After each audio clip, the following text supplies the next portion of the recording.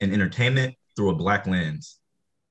On the podcast, they review the newest films and television series and share their analysis, analysis of breaking news and other pop culture events in the world of music, superheroes, anime, video games, and of course, professional wrestling. New episodes are released each week on Tuesdays on all major podcast platforms, including Spotify and Apple. And you can follow them on social media at Two Black Nerds on Twitter and Instagram. I will now turn it over to Desmond and Jordan to introduce our speaker. Thank you so much, Brother Burrell, for that wonderful introduction. And also thank you to the Capital Alphas for inviting us today to be a part of the Alpha Speaker Series. And on behalf of the Two Black Nerds podcast, I can say that we're really excited to be here to help introduce Brother Roland S. Martin. So let's go ahead and get right to it. Over the course of a journalistic career that has seen him interview multiple US presidents to the top athletes and entertainers in Hollywood, Roland S. Martin is a journalist who has always maintained a clear sense of his calling in this world. Martin is the host and managing editor of Roland Martin Unfiltered, the first daily online show in history focused on news and analysis of politics, entertainment, sports, and culture from an explicitly African American perspective. From 2008 and until his final on air sign off, Martin was a senior analyst for the Tom Joyner Morning Show, where his twice a week segment is heard by millions of listeners on upwards of 100 stations. He is the author of three books Listening to the Spirit Within 50 Perspectives on Faith, Speak Brother, A Black Man's View of America, and the first, President Barack Obama's Road to the White House, as originally reported by Roland S. Martin. He has been named four times by Ebony Magazine as one of the 150 most influential African Americans in the United States. In his career, Martin has been showered with more than 30 awards for journalistic excellence, including being named the Journalist of the Year in 2013 by the National Association of Black Journalists for his extensive focus on voter suppression and other issues of concern to African Americans during the 2012 election. Martin was also awarded the 2008 President's Award by the National Association of Black Journalists for his work in multiple media platforms. In 2008, he was also inducted into the Texas A&M University Journalism Hall of Honor. He is a four-time NAACP Image Award winner, including being named Best Host twice out of the last three years.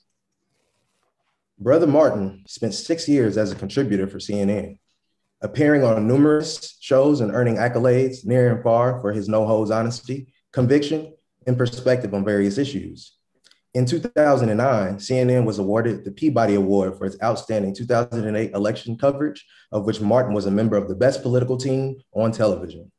Martin spent 13 years at TV One, where he played an integral role in building the Black owned network he began in 2005 by doing commentaries, and in 2009 began a four-year stint as host and managing editor of the Sunday morning show Washington Watch.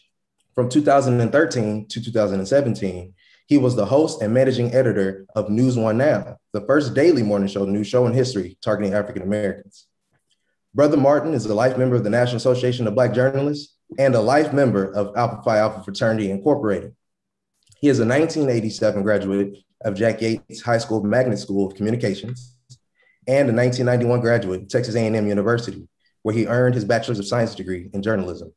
He has been awarded honorary degrees from Florida Memorial University, University of Maryland University College, Lemoyne Owen College, Lane College, South Carolina State University, and Virginia University of Lynchburg.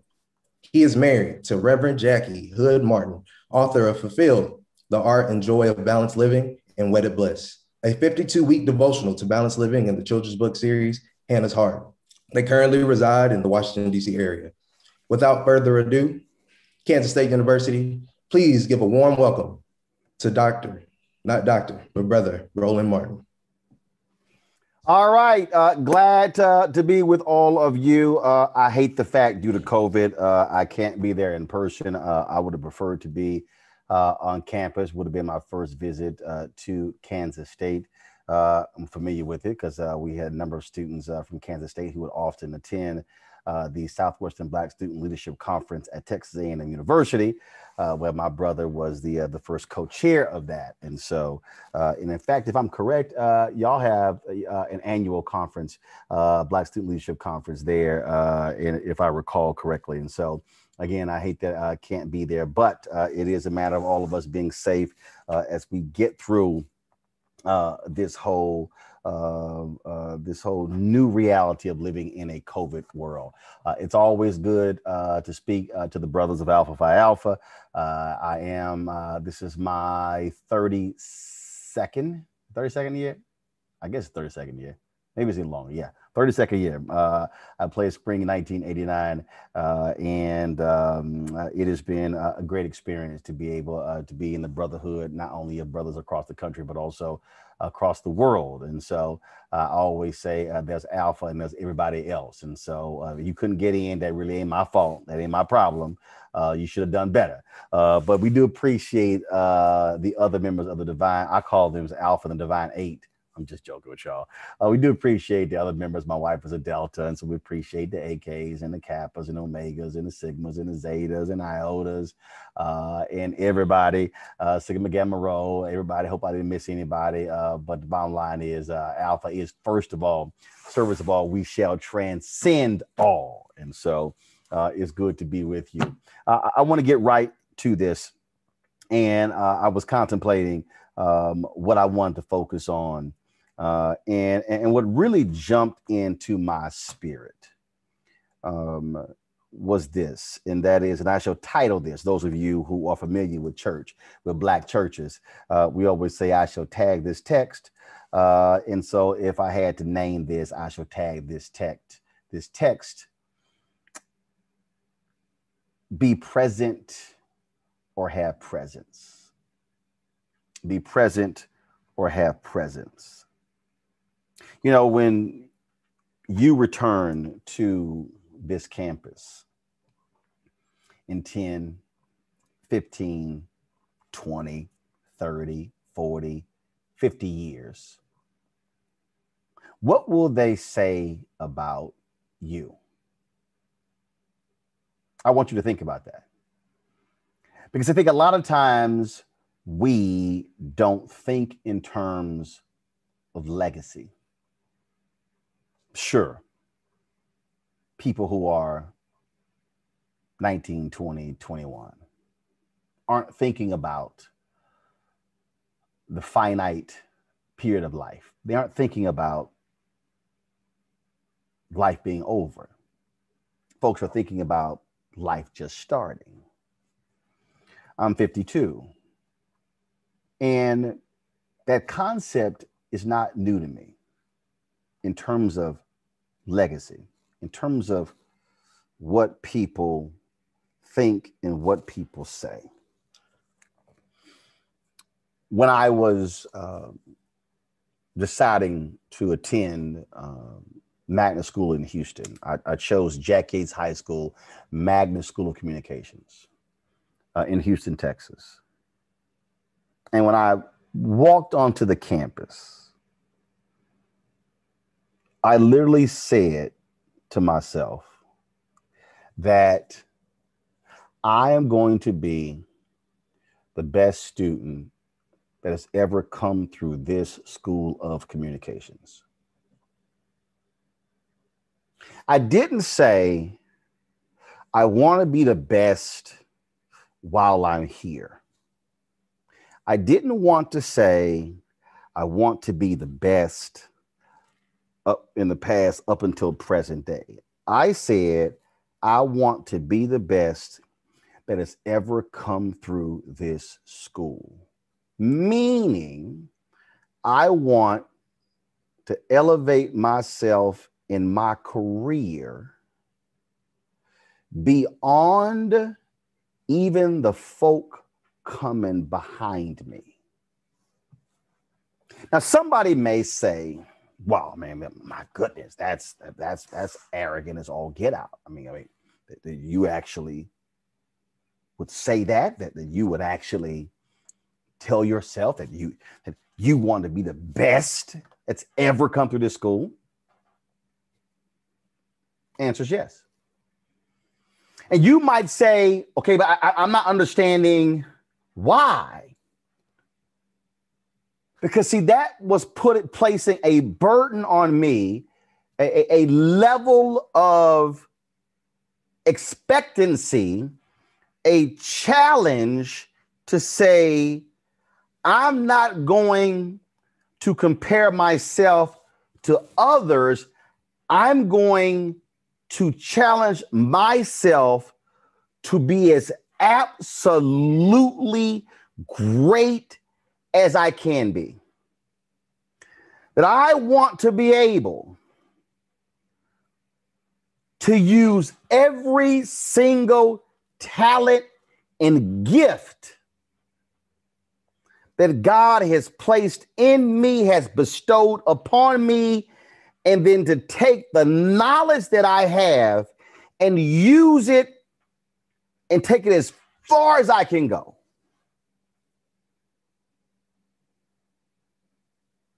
So I'm not actually measuring myself against a group of my peers. I'm literally measuring myself against myself. As I am sitting here right now,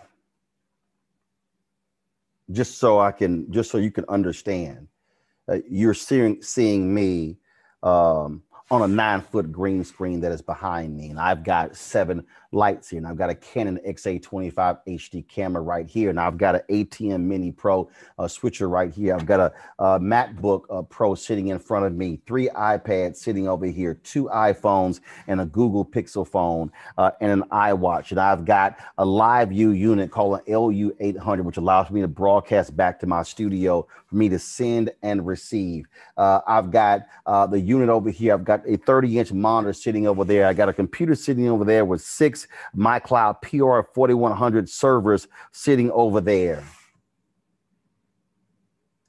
And I'm in complete control of all of this. I didn't need anybody to help me set it up. That I was on a deposition. I was doing a deposition in a lawsuit. I was called to be an expert witness. This was two days ago. And we were sitting there on the call, and and and one the lawyer, the lawyer who was, uh, and he probably was eight to ten years older than me, and he was questioning me, and at some point, uh, he was uh, remarking about something that happened, and he said, you know, something dealing with technical, and he said, I, I, I, we, we need to call somebody. He said, well, Mr. Martin, uh, hold on, please, and then he referenced the other attorney. He said, uh, we may need to call somebody uh, who is uh, uh, who is younger to come sort this out. I said, I'm sorry, so and so. I'm 52. I know how to use damn technology, so you might want to be speaking for yourself. Yeah, I actually said that why why am I saying all of this to you? It's because I refuse to limit myself and refuse to allow others to limit me in terms of what I can do. And what I am describing for you is not what I did after college.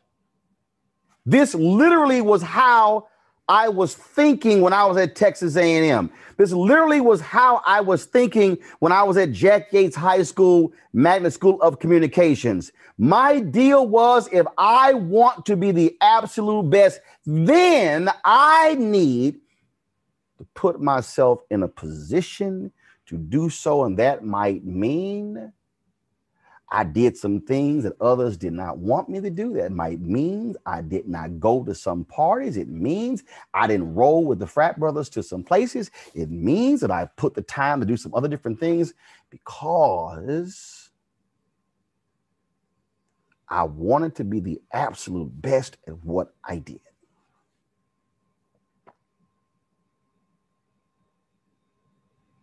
And there were people who I was in college with who were like, man, dog, what you doing, bro? It ain't that serious. Yes, it is.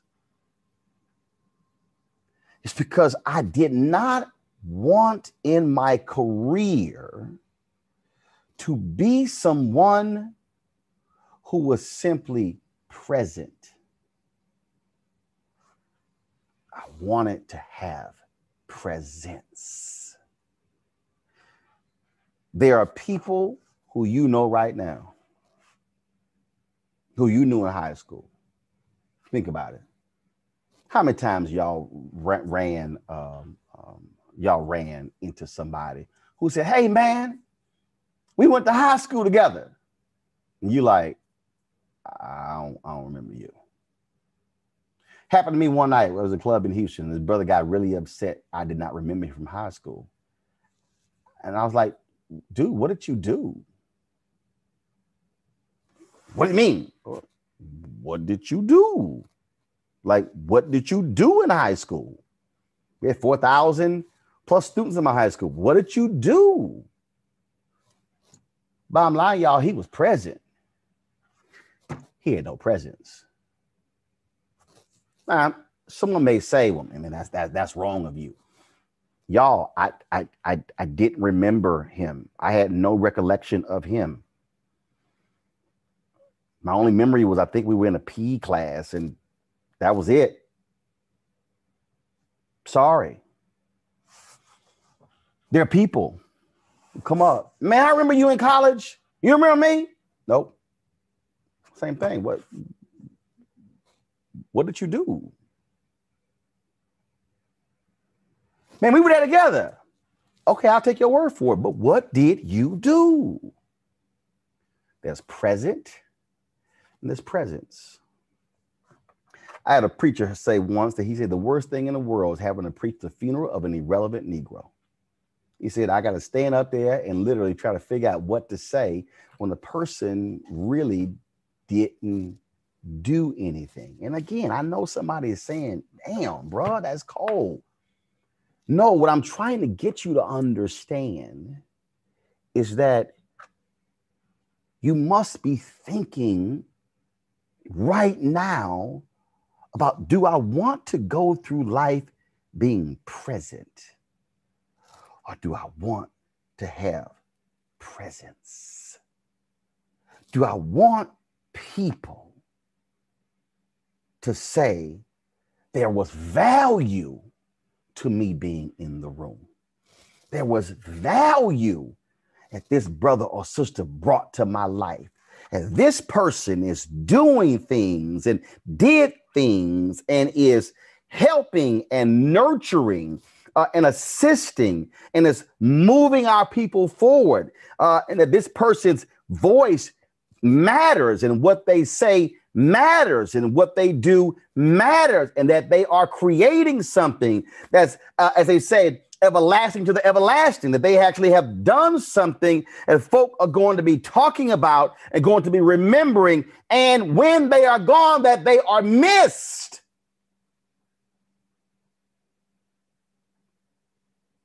When they leave this high school, man, we gonna miss that brother. We gonna miss that sister. When they graduate from college, we're going to miss their presence. We're going to miss them in the frat. We're going to miss them in the sorority. We're going to miss them in the Black Awareness Committee. We're going to miss them in student government. We're going to miss them uh, in the NAACP chapter. We're going to miss them in the NABJ chapter. We are going to miss because they brought so much to the table. They brought so much to the frat, so much to the campus that their presence will be missed. You don't miss somebody who was only present. You don't miss them because they weren't, they were just there. That's why you don't miss them. You, you don't miss them because they ain't do nothing. How, many times, you know, you somewhere you like, man, I, I, I wish so and so was here. How about somebody who's who's a great DJ? Man, I wish so and so was here. Presence. They brought value. They mattered.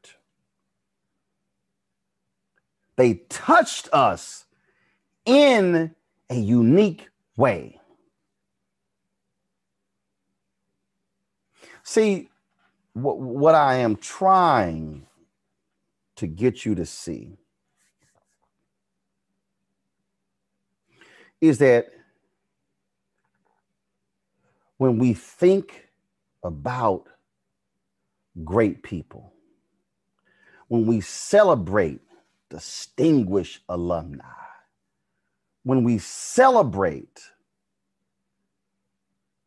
individuals and buildings are named after them and streets are named after them and um, we are honoring them with statues and we are honoring them um, we, in, in many other ways. We're, we're naming bridges after them and airports and, and things along those lines. It is because they did things that were unique.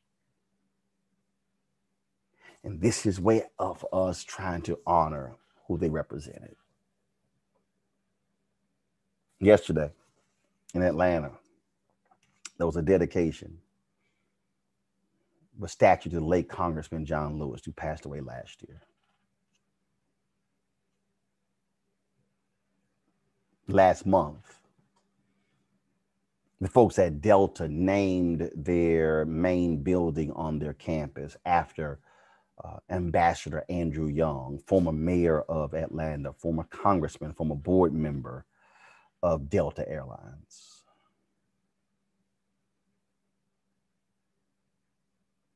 That's because they had presence. Their names will go on. Andrew Young told me this. Andrew Young is a fellow Alpha. Andrew Young said that people ask him all the time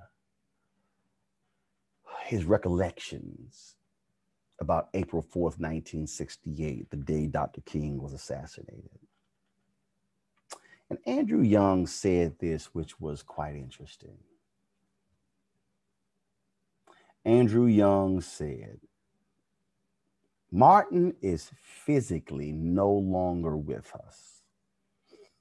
He said, Martin has been gone from us physically for 53 years.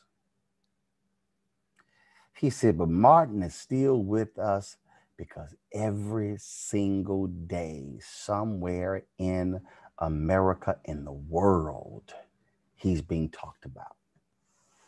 He says, somewhere in the world, they are playing a speech, they are reading his quotes, they're invoking his name, they are talking about his book. He said, Martin and Andrew Young just turned 89. He said, Martin is amongst us every single day because he had presence. He wasn't just present. He was assassinated at 39. Andrew Young has lived to 89. John Lewis passed away at 81. Reverend Joseph Lowry was 96. Um, uh, uh, Reverend Dr. C.T. Vivian was 95. We lost Vivian, Lowry, and Lewis all last year within a span of three months. They had presence. We'll be talking about them for the ages, what they did and what they meant. And so, what I'm trying to get you to do is to see your life in a totally different way. I'm trying to get you to see that the work that you are doing is not inco- inconsequential. What I want you to, to understand is that the folk who you are touching today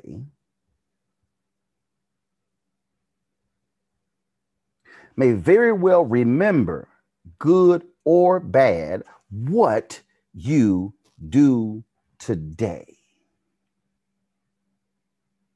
So 20 years from now, when your name comes up, what do you want the people to say about you, even if you're not there? What is it? What do you want the conversation to be about you? And you ain't even there. If your name is in the vote, does it cause folk to frown? Does it cause folk to get mad and pissed? Does it cause folks to say, that's a bad sister. Yo, that's a bad brother. And man, I wish they were here right now. I, I, I'm not speaking, y'all, in terms of you no longer being here in terms of life. I'm talking about what if you still here? I'm talking about what if they having a conversation um, somewhere else and and you're working. What are they saying about you? Well, what type of presence do you have? It's always it's always a humbling experience to get an email, a tweet, a letter from somebody who says, brother, this is what you mean. This is what you mean to me. This is what you mean to our family. This, this, this, this is what you mean to our people.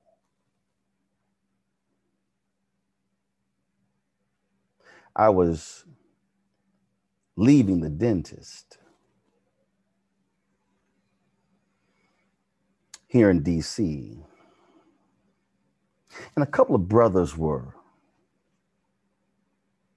coming down the sidewalk.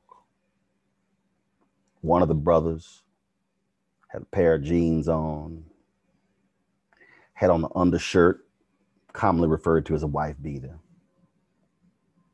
Brother had hair wasn't combed. I think he had a pick in his head, several gold teeth in his mouth.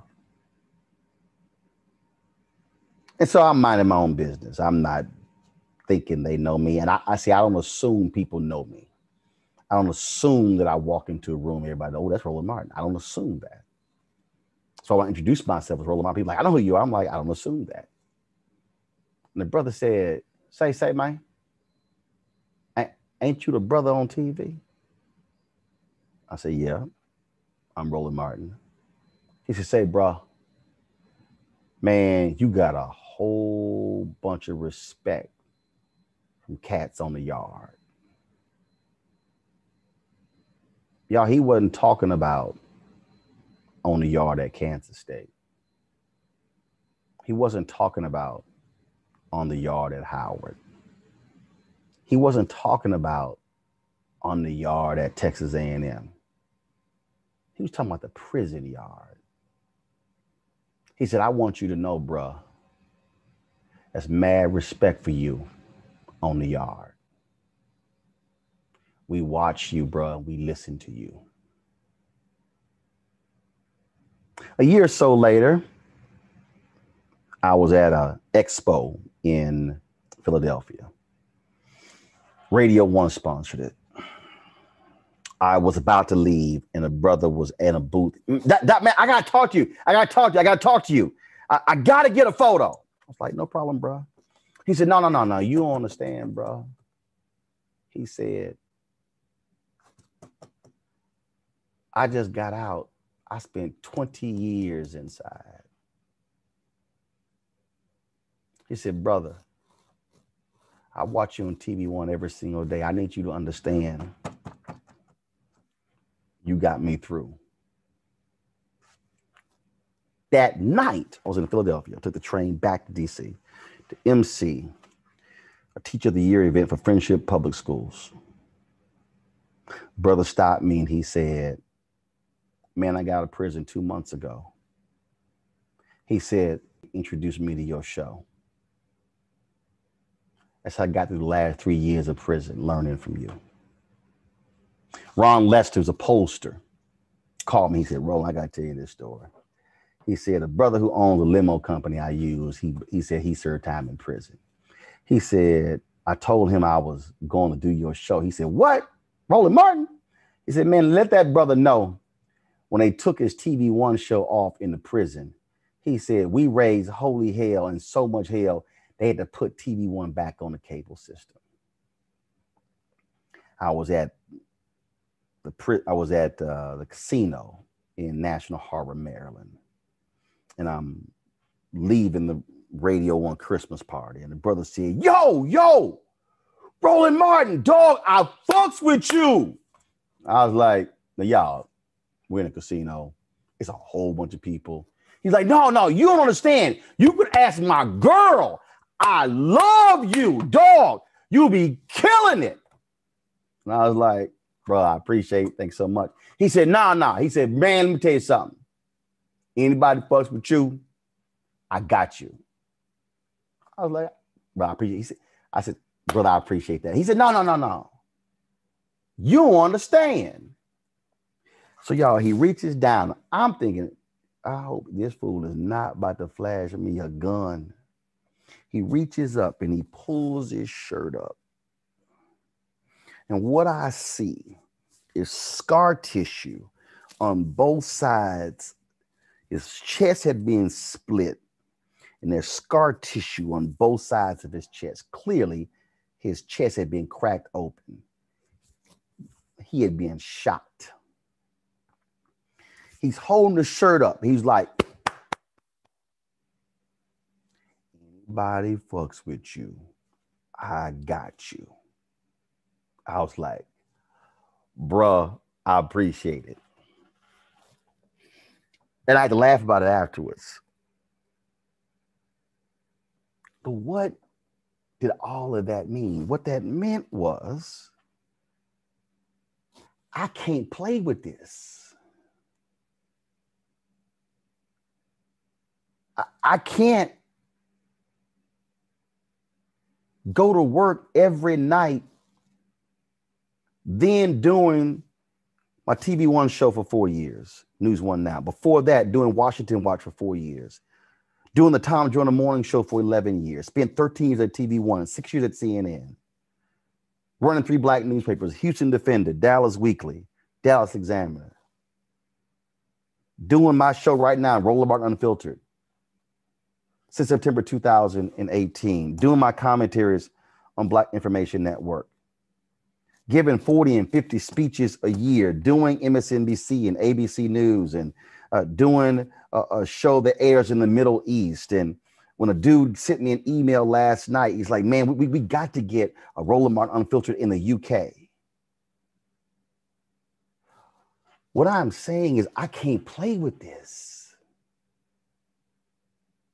What God has gifted me is the ability to speak and reach people and touch people and inform people and educate people. So I can't play with this. Black people listen and they trust and they're learning and they need they want to know when I'm in Florida and a young girl walks up to me with her mama, and her mama says, You don't understand. My daughter will not let me drop her off at school unless you have finished your commentary on Tom Joyner. She make me go around the block. The next day, I it was a Saturday. That Monday, I go on the air and I tell the story and I say, "Yo, let me thank so and so." I mentioned her name. I said she 12. Y'all, I got an email saying thanks for the shout out, but I'm 11.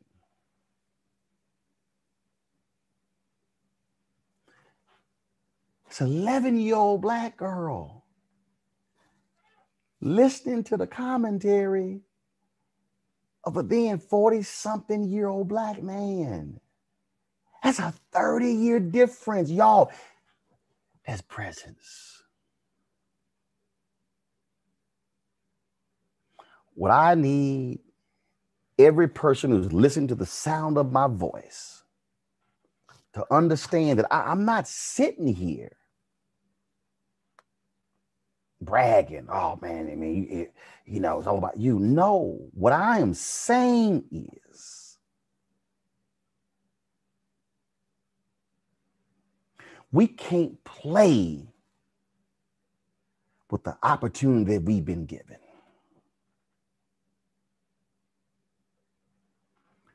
The late Dr. Levi Watkins was one of the great, another alpha, was one of the great heart specialists at John Hopkins University. He operated on Rosa Parks and numerous civil rights folk. He used his gifts for greatness.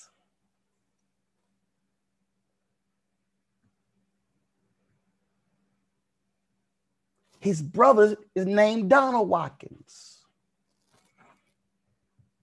Their daddy was the president at Alabama State. Donald Watkins was considered one of the top lawyers in Alabama. Brilliant legal mind. Yet the same Donald Watkins being started a company. And Donald took millions from athletes and others and squandered the money, lied about the money. Right now,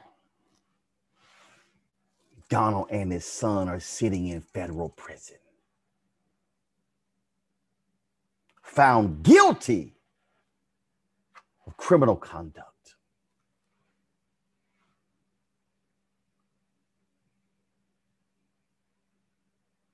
when they talk about Dr. Levi Watkins, when they talk about the children of their daddy, they're going to talk about the greatness of Dr. Levi Watkins and what kind of heart surgeon he was and the amazing things that he did and the surgery that he perfected and what he was able to do and how he was able to be a difference maker, they will sing his praises. And when they bring his name up, y'all, they to talk about what he did.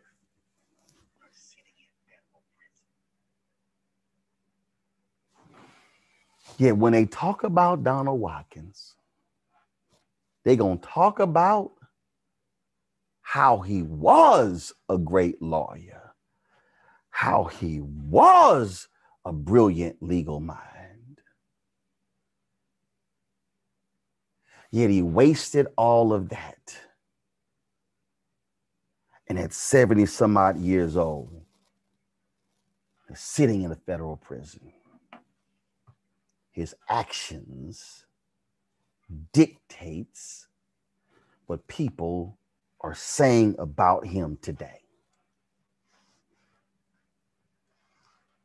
So, what I want all of you at Kansas State to understand, and all of those of you who are alphas, and though all of you who are watching this in the webinar, who are watching this uh, being streamed, who are watching this on Facebook and YouTube and on Twitter, what I want you to know and understand is that the greatest of our people who we talk about today, they had presence. They were simply not present. They did not fade into the background. They did not just didn't care. No, no, they literally said, I want to be a difference maker. What Black America needs today are more brothers and sisters with presence. What Black America needs today are more people who are willing to speak truth. And I'm not saying this solely so you can just speak to and help Black folks. The work that you do can be liberating for whites. You can touch and inspire them. I got a donation from my Bring the Funk fan club, uh, and I read the letter on the ad. The, the dude said, I'm a 70 year old white gay man. And here's my contribution because your voice matters. The first letter I got from a fan to launch my show was from a 92 year old black woman from Long Island, New York, who said, I watch you on TV One. Your voice matters. My daughter plays golf and she follows you on Facebook. And that's how I, I found out about your digital show. And she said, Here's a $500 to help you because she said, Your voice needs to be heard. Y'all, that ain't present, that's presence.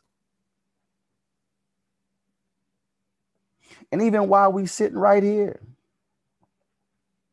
just so y'all understand that you know how we John Cheffy right now on YouTube at 842, two minutes ago, posted this. Hey, Roland, I'm from UK and Caucasian. I'm a mix as most people are. I appreciate you and watch a lot of your shows. You're a wise man. Thanks. So here I am, a black man in the DMV, in the DC area, broadcasting a show who's speaking to and touching somebody who's white in the UK. Y'all, I'm trying to get you to understand that God has given every single one of us a gift. And some of y'all might be journalists. Some of y'all maybe doctors or lawyers or engineers. Some of y'all may be accountants. You may be assistants. You may be secretaries. You may uh, you, you may be garbage collectors. It, it doesn't matter.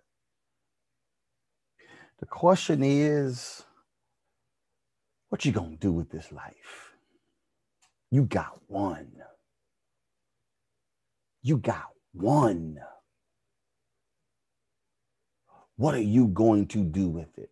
There's no day that is guaranteed. There's we can plan for the future for the next 10, 20, 30, 40, 50 years. I think back to a sister who was a journalist uh, in Houston um, um, and her first name was Monique, and I cannot remember her first name right now, y'all. Uh, and Monique, she was a tall sister. She was like six two, uh, and she was NABJ, and and y'all, um, uh, she was a, a great journalist. Monique got stomach cancer. She died at thirty. There was another sister I remember, and we were at a at an NABJ conference, and she was a, a, a brilliant sister, a dedicated sister, a young sister, uh, and she was a TV anchor uh, in Oklahoma City. It was either Oklahoma City or Tulsa. She was an anchor, and y'all, she left work one night uh, and she was she was finished anchoring and she was destined to be a great star. She was she had that kind of talent and she was driving home and the red light was green and she's driving home and a dude uh, who was drunk comes plowing through kills her. If i'm correct i think she was 32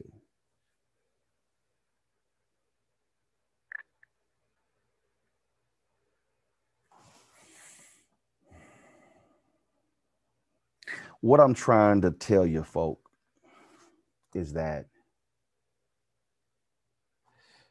every single one of us has an opportunity to do some amazing and great things just where we are. Whether we're in college, whether we're in a frat, whether we're in a sorority, whether we are not, whether we are in a city, whether we are on a job, whether we're in an organization, there are some things that we can do. There's a way that we can impact our society, how we can touch our people. The question is, are you going to be present or will you have presence? And whatever decision you make is yours. But just remember, those who were present, we don't remember. Those who were present, we don't talk about. Those who were present had no impact.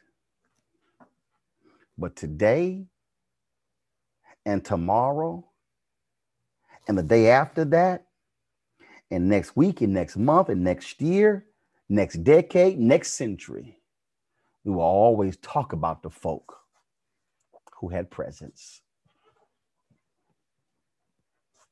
You got to decide which one you going to do. You going to be present or you going to have presence. Thanks a lot, folks. Let's turn to our Q&A now.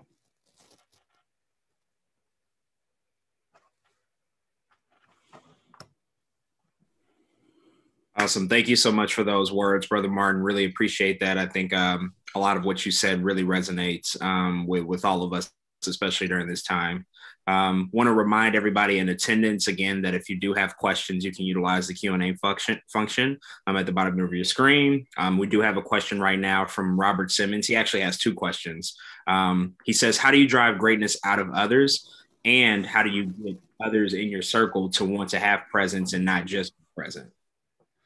I think first, um, you can't drive greatness in someone unless they want to. You can go to someone and you can say, I want to help you, I want to assist you, but see, they got to make it on, they can make the decision on their own. See, think of think, think in terms of uh, matter of fact, I was watching uh, a basketball clip the other day, and um, Julius Randle, who now plays for the New York Knicks. Julius Randle told a story of what Kobe Bryant told him.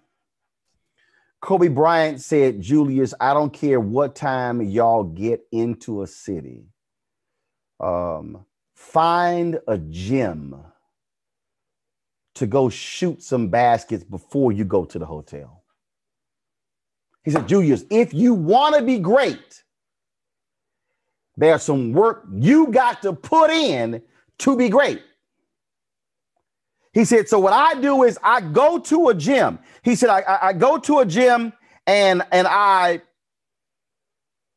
I shoot for an hour or two soon as we land, before we go to the hotel, no matter what time we get in and it's late. So they went to, I forgot the city they went to. And that was a high school.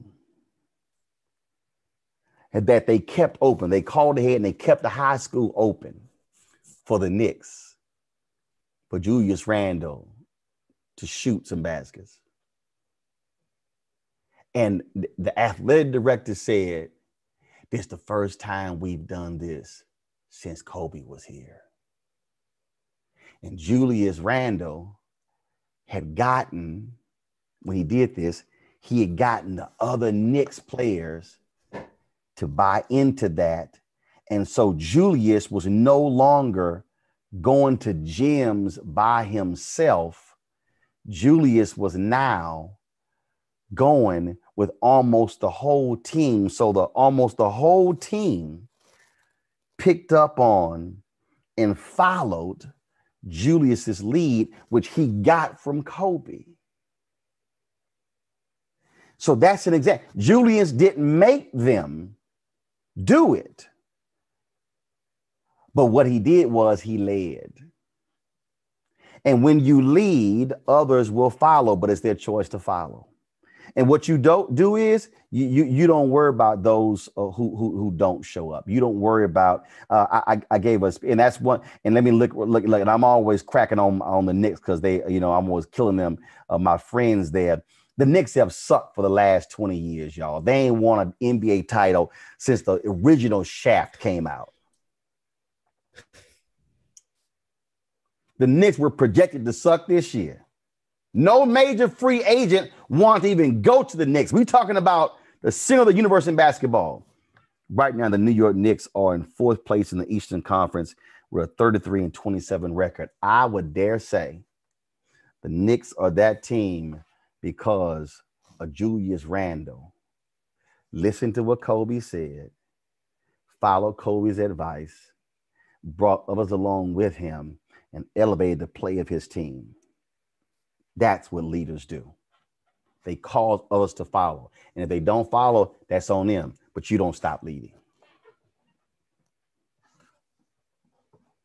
Hmm. Wow, well said. Uh, we don't have any questions in QA right now, but uh, we got some questions. All right, y'all. Other questions? Hit me up. I know some of y'all are also on YouTube and Facebook. I see y'all comments. So if y'all got questions, mm-hmm. I'll knock those out too. Uh, go right ahead, brother. Yeah. So um, let me see. I guess this one's kind of kind of nitty gritty. Let's see if we can get down here. Um, so your, your, lecture spoke heavily on having presence, right? Um, unfortunately, we have Black brothers and sisters whose presence is felt, but due to uh, becoming a hashtag at the hand of police brutality and murders. Um, and given that current climate of police brutality, uh, just killing of Black bodies, specifically in recent years, the conversation on the side of police reform has been either defund the police versus abolish the police. Which stance between defund and abolish are you on? And what strategy should be used to accomplish your particular stance? First of all, you're not going to abolish the police. You're not. The reality is, we have law enforcement for a reason. The issue is, how do you reimagine police? See, the problem in this country, what we've done is we have resorted to police using them for everything. In Seattle, when they changed their policy, they stopped having the cops write tickets. They stopped having the police perform other functions that could be handled by non police. See, what we've done in our cities and in our counties, we've actually stripped away the resources, the community service centers where folk used to go. We've now transformed our schools into essentially community service centers. Oh, go to the school for dental, for food, for help. That ain't what is school is for, for staff for school. And so, what we got to step back and stop thinking the answer to everything in America is to hire more folk with guns and badges. San Francisco, reimagine their police. When they get mental illness calls, they don't send the cops, they send social workers, they send mental health professionals. That's how we reimagine police. We've got to stop seeing that the answer to everything in America is to send somebody who is trained to use lethal force to stop things from happening. That's what we do. That's why you got to get these resource officers out of schools. You can't uh, look, I I, I get you cannot have resource officers with badges and guns, body slamming students not in schools. We in this nation have got to get out of the mindset that the gun rules everything. This is the most violent nation in the world. Our love affair with guns is an abomination. And that has to stop. So we've got to have political leaders with courage and see, some of y'all who are listening might be saying, well, you know, um, uh, uh, uh, uh I, I, I, hear you. I hear you, but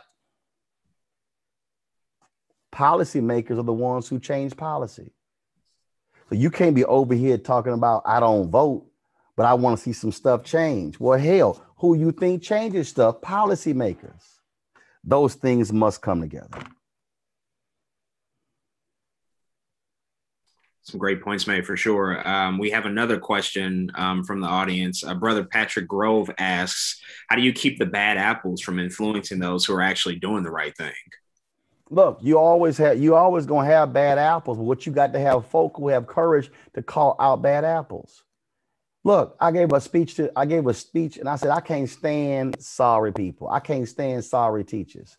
It was at an education conference. I said, How many y'all know some sorry teachers? Hands went up. I said, How many y'all willing to call out sorry teachers? Hands went down. I said, See, are you trying to protect jobs? Are you are you are you trying to protect kids from being educated by sorry teachers? I said, Y'all, let me be real clear. I don't like sorry journalists. I have told folk, you know what? You need to get your ass out of this business because you suck. I've said to people, I ain't got a problem saying to people because I'm being honest about sorry folk. We got to have cops who know who the thug cops are and say, hey, they ass got to go. Aisha Braveboy, Braveboy, she is the state's attorney in Prince George's County. She has created a list and says 15 cops on her list who can't testify in cases for her. She ain't even gonna listen to them because they lie on the witness stand. See, we've got to be willing See, see, see, part of the problem is we got too many scared folk. Look, I had some sorry frat brothers. And I tell them to their face, you embarrass Alpha. You are pathetic. I know one right now who is shady and all get out and let me tell you something right now. I'm committed to getting his ass kicked out of the frat. If you're going to wear these letters, you better be a man of integrity. If you're going to wear these letters, better be a man of character. If you're going to wear these letters and call yourself a brother, well, you're going to act like one. See, I'm not willing to be quiet. Nah, man, I ain't gonna say nothing. I want to get no, damn that. We need more people who are not afraid to call folk out. That's what has to happen.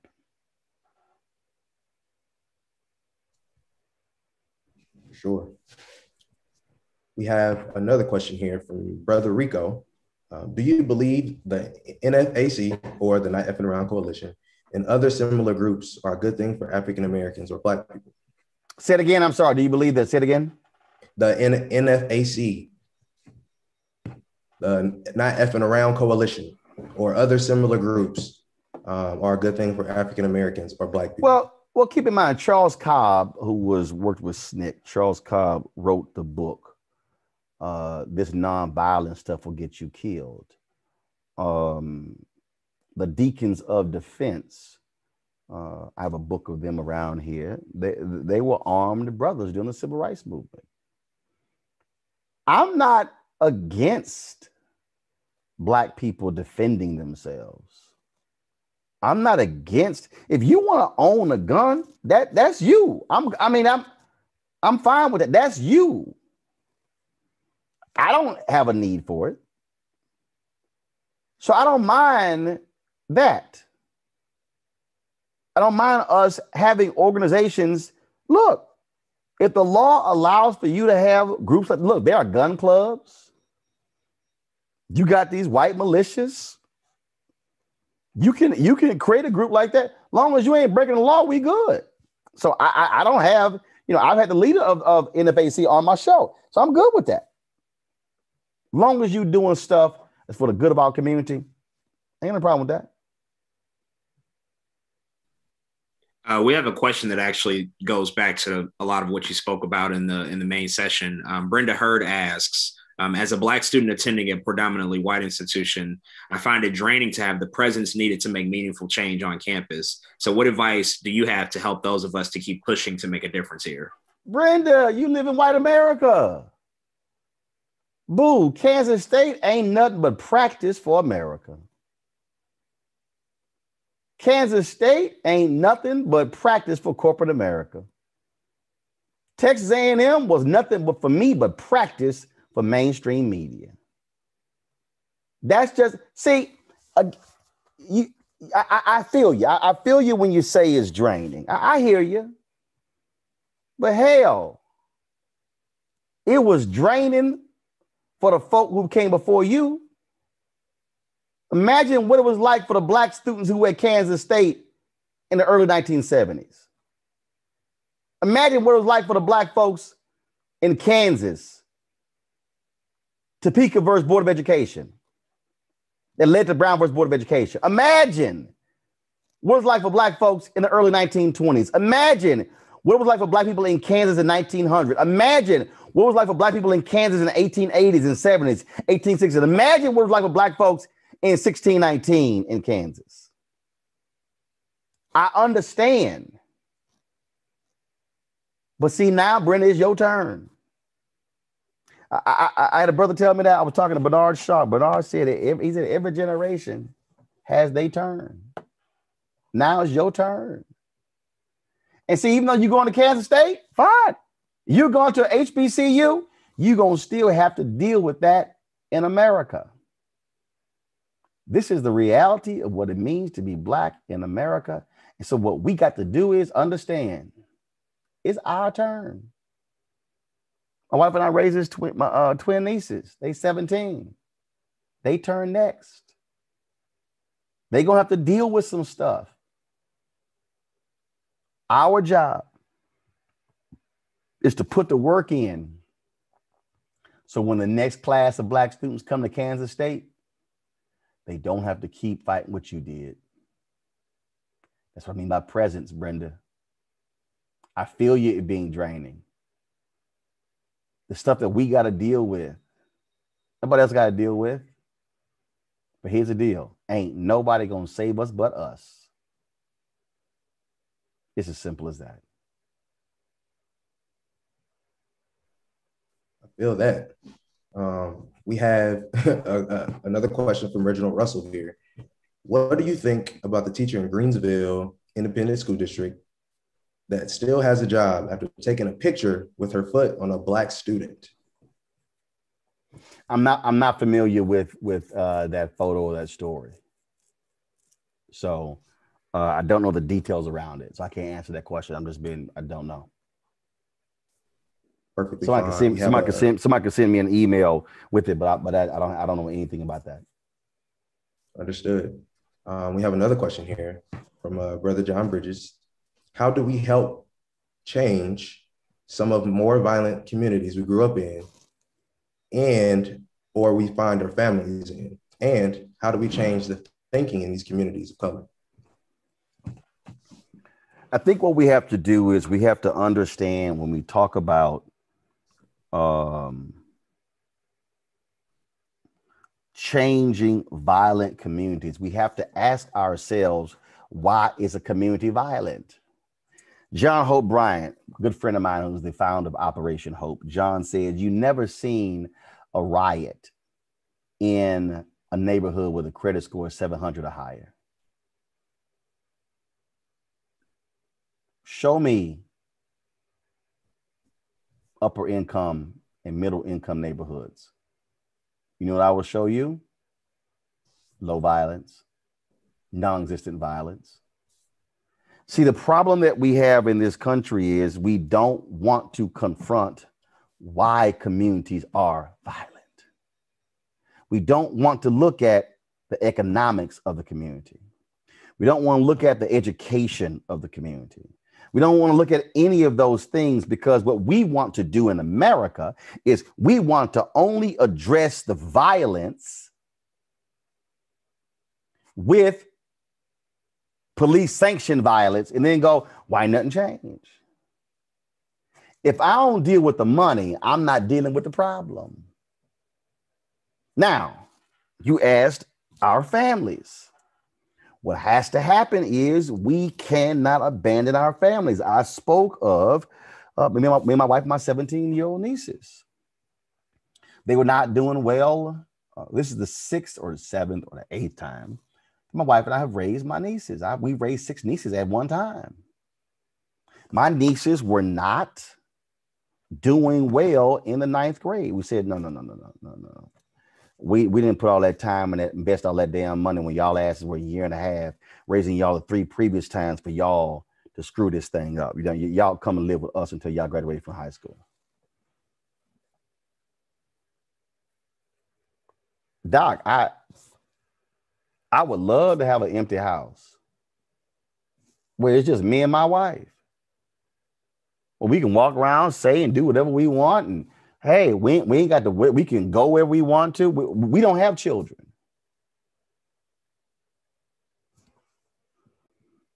But I can't just think about me. I made the decision to say, no, they got to come with us because I've got to give them at a give them a shot at life. I've got to give them a shot at being better. I've, I've got to ensure that their children have a shot. So we have to begin to make uh, some decisions. You know, and, and, you got folk out here, and and and, and they love to always say, "Oh, like I got this, I got this fool on on YouTube right here." Oh, Roland, stop with the victimhood excuses for violence. Deal with the home. So let me tell you why that person is stuck on stupid. They want to say deal with the home. What if everybody in the home unemployed? What if the folks in that home went to inferior schools? What are the folks in that home are employed, but they make a minimum wage of 725 and they can't live? That's why I'm fighting for $15 an hour. See, folk like uh, Tina Alongi are part of the damn problem. Because they love saying, oh, it's the home, it's the home. Everything start in the home. Yes, everything does start in the home, but what you gonna do when you walk outside your door?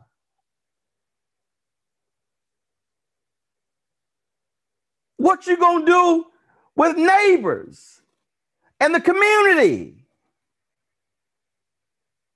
I get the whole point about start in the home.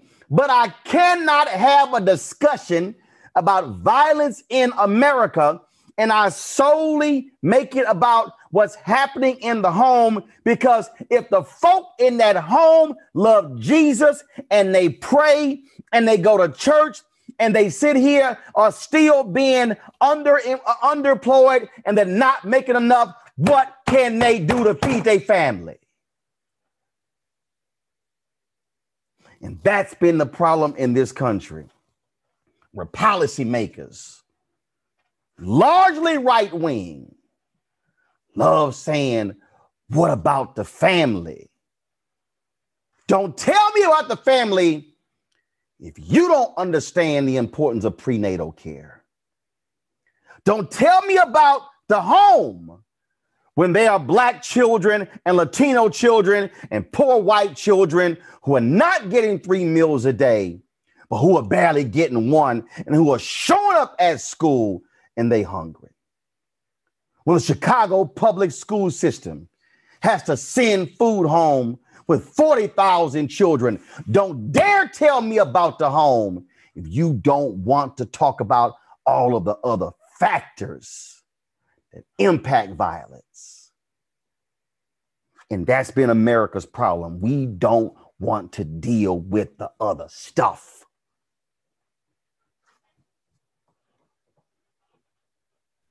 That's very powerful. Um, definitely a lot to take in. I think um, we we have another question from the audience from Brother Darian Springfield.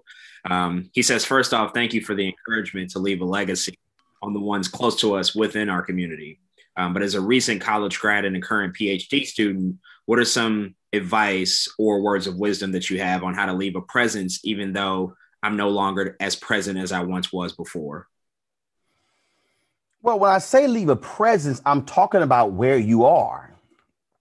You, you can still do things when you left the university. You can still you can still uh, come back. You can still um, mentor. You can still do those things, but it's also where you are. And so when we leave, doesn't mean that everything shuts off. What it means is that uh, we've now moved to a different place, and so uh, we can say all the time.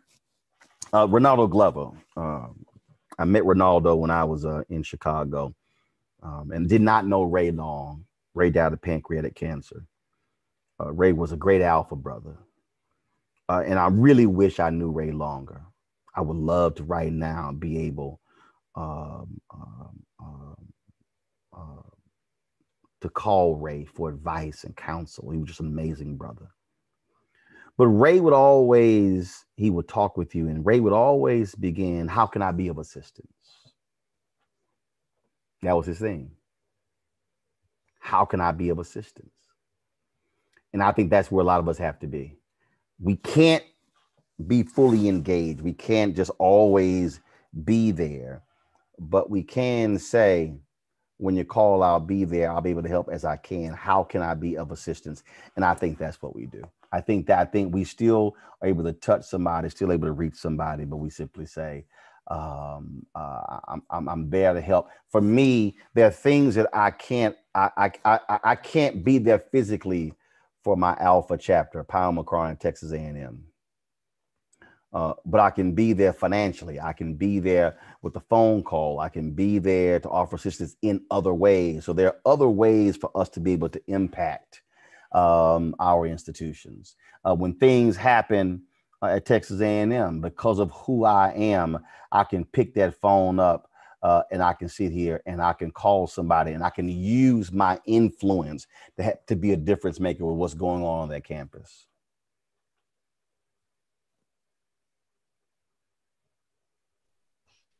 Yeah, absolutely.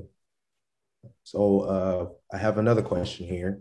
Um, it says, because of the historic experimentation and exploitation of Black people in medicine, there's been a large number of Black people who are afraid to get the COVID vaccine. And what are your thoughts about that? Man, I took that damn shot. I got both Moderna shot. My wife took the Pfizer shot. My two nieces got their shot. My parents got their shot. Let me tell y'all something right now. Uh, what's the flip side of death?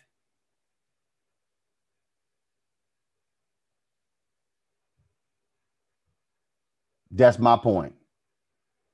If you think I'm about to sit here and play around with this damn COVID vaccine, knowing full well, look, I'm sitting here working out, changing my eating habits, but I still got uh, comorbidities. I'm not about to sit here and play around with this. Not when 550,000 people in America have died of the COVID 19, 3 million people worldwide.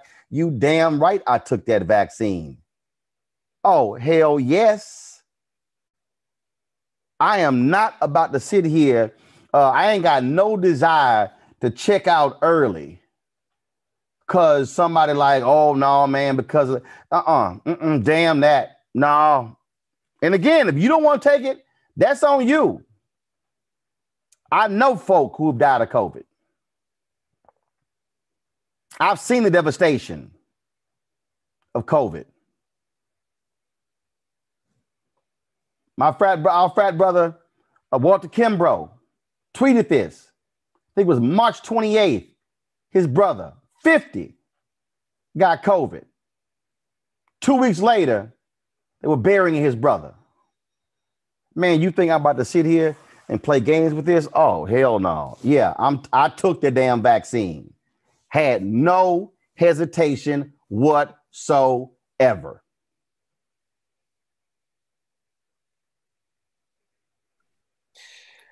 yeah, I think that's uh That's how it should be. Um, as you mentioned, what's the opposite of death? So uh, we have another question from John Bridges. Um, so he he talks about how um, some brothers and himself are in the process to, to start a, a trade school in inner city Kansas City called Young Bridges, um, which is to give students an outlet to have a career and give them a stepping stone to start their own businesses.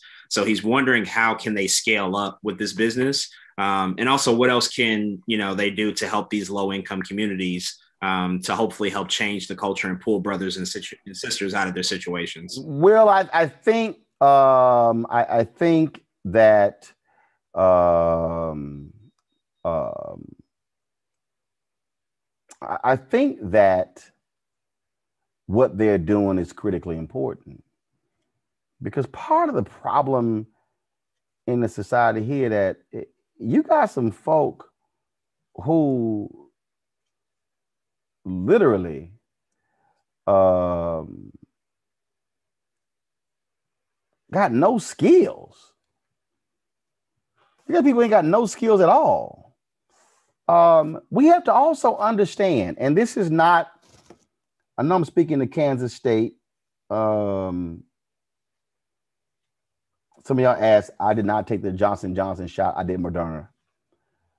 Um, every and this is hard, and I've had black people demand you shouldn't say that, but it's true.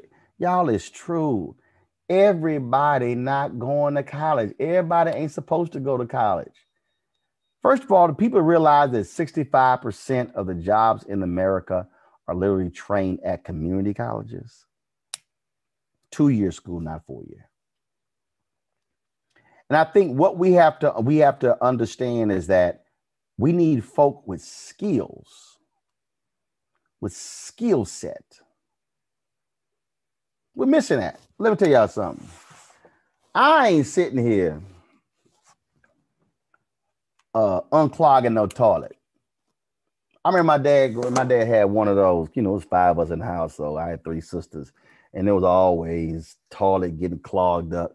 Man, he had one of those snake things. I'm like, man, I ain't doing all that because he's like, look, I can't afford to call no plumber. Well, I can. Do y'all understand there are master plumbers who make six figures? Master electricians who make six figures. Y'all, when the power go out, somebody got to work on the power. Not a lawyer, not a doctor. Let me tell you, something. I describe all this technical stuff I have. Y'all, I got 82 inch Samsung over there, computer, 50 inch TV right here, cameras, all this sort of stuff. If the power, matter of fact, when the power went out, I had to call electrician. Oh, I got a degree. I got, I got, I got knowledge, skills. That ain't what I do. What I'm trying to say is we have to make sure that our community has skill set. If there are people in our community who have decided they do not want to go to college, fine. We got to make sure folk have skill set. Somebody sit here tweeted, on YouTube. I make $45 an hour with my GED. All I'm simply saying, y'all, what y'all are doing, that's what you do. And what you do is you just keep building. You make it go to scale by going from one school to two, two to four, four to eight. You just keep building. That's what you do. You keep building.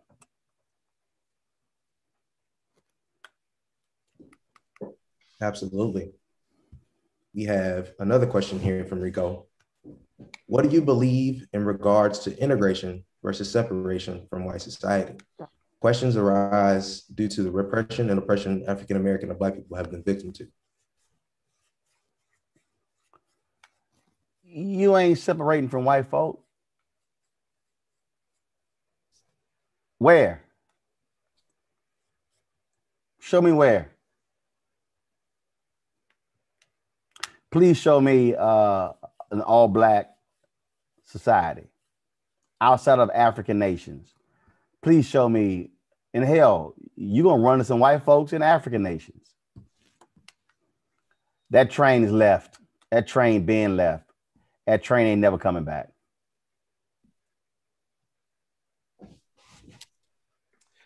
Um, so I, am not sure if you've seen the movie uh, One Night in Miami um, from Regina yep, King. I've seen it. Uh, I've texted Regina King, told her how absolutely amazing that movie is.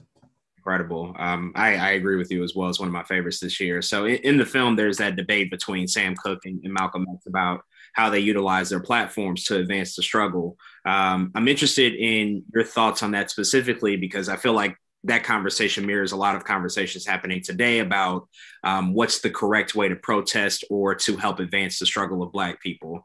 Um, you know, so what would you say to younger people who are sort of confused or don't know how to go about um, contributing to a specific cause and, and finding their presence within that space?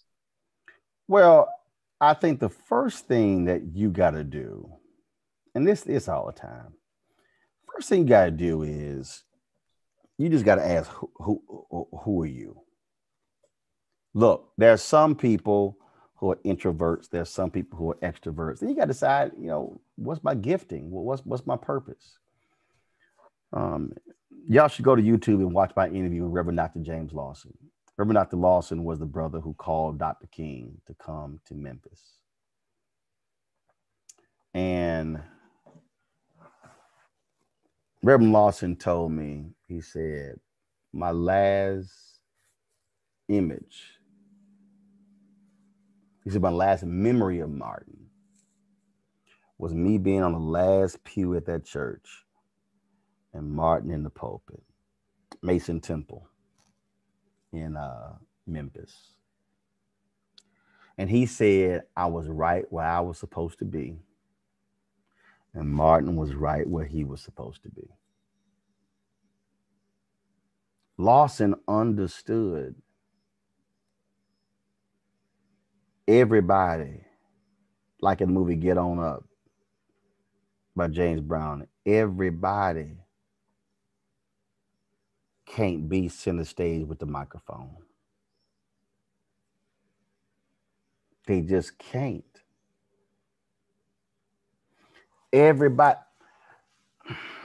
my first, when I, I went to communications high school, Jack Yates, they would not allow us to go into the TV studio our first semester of my sophomore year.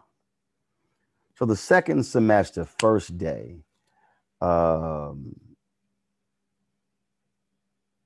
Mary Waits unlocks the door. And all the students rush in and they all rush to the set.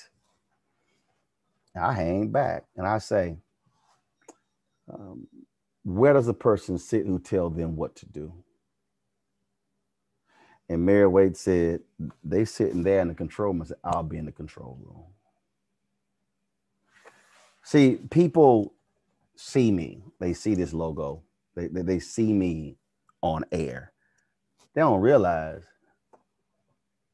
I didn't want to be on air. I learned the skill set on air, but I learned the skill set behind the camera. The only reason I did the on air piece because that came with it, and I had the power that came with it. I was the host and managing editor. If TV One said, we just want you to be the host and you don't have control of the content, I would turn the job down. If Tom Joyner said, I want you to do a segment on my show, um, but you don't get to decide the content, we do. I wouldn't have done it. I understood what my gifting was. And so, what people have to decide is what role can I play? If I'm good with money, but I'm not trying to sit here and be out there marching and protesting and strategizing, let me go work in accounting for the movement. If I'm a lawyer, I'm not trying to get out there and carry a sign and protest and get in folk face. But somebody got to bail the protesters out of jail.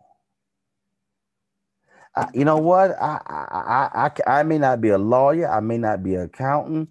I don't know none of that stuff. Guess what? I can make signs.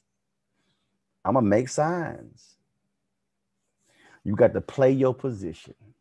Somebody said right here. Uh, yep, no position and purpose. That's it. Figure out what position you want to play, and then walk in your purpose. Mm, walking your purpose. Uh, I believe this has to be the last question. We're running out of time. Um, let me see here. Here we go. You've been in this career for a long time and have contributed to coverage about police brutality for years. More often than not, Black people don't see just slash fair verdicts when it relates to police violence. But after the most recent verdict from the Derek Chauvin trial, some are leaning into hope that we may be seeing progress. How are you managing your expectations when it comes to the results of that trial? It is very hard for it's very hard for our people to sometimes admit that things are changing, albeit slowly. Um, I I was watching a movie on HBO.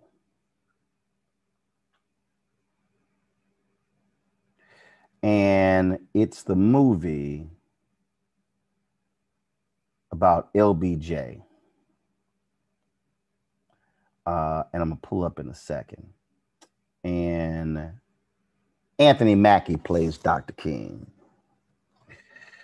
And in the movie, there's a certain scene, and I'm familiar with this because I've, I've read uh, numerous accounts about this. In, in 1964, uh, the Mississippi Freedom Democratic Party, led by Fannie Lou Hamer, Bob Moses of SNCC, they went to Atlantic City and they wanted to challenge they wanted to challenge um, the all white delegation from Mississippi. And they went there and they were protesting, they were fighting, and LBJ uh, did not want to lose the South. He wanted to win the White House. So he sent Walter Reuther, who led the AFL, to Atlantic City to tell King, you better take this compromise or we gonna take your money.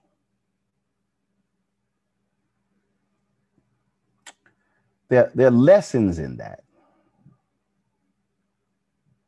The first lesson is black folk, we got to fund our own movements.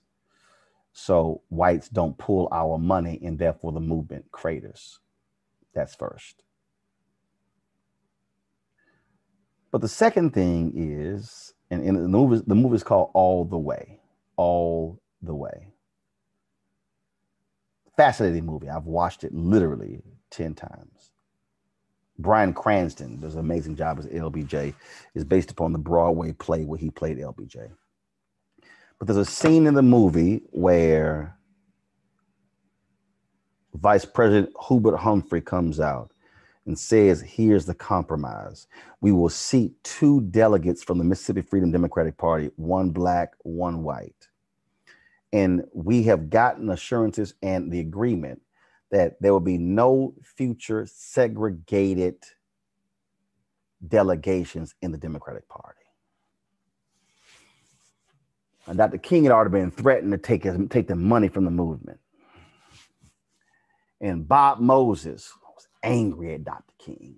In fact, if you read uh, Nick Kotz's book, I believe it was Nick Kotz's book, K-O-T-Z, on LBJ and King called Judgment Days, that Bob Moses and others were so angry at MLK and Bayard Rustin for accepting the compromise.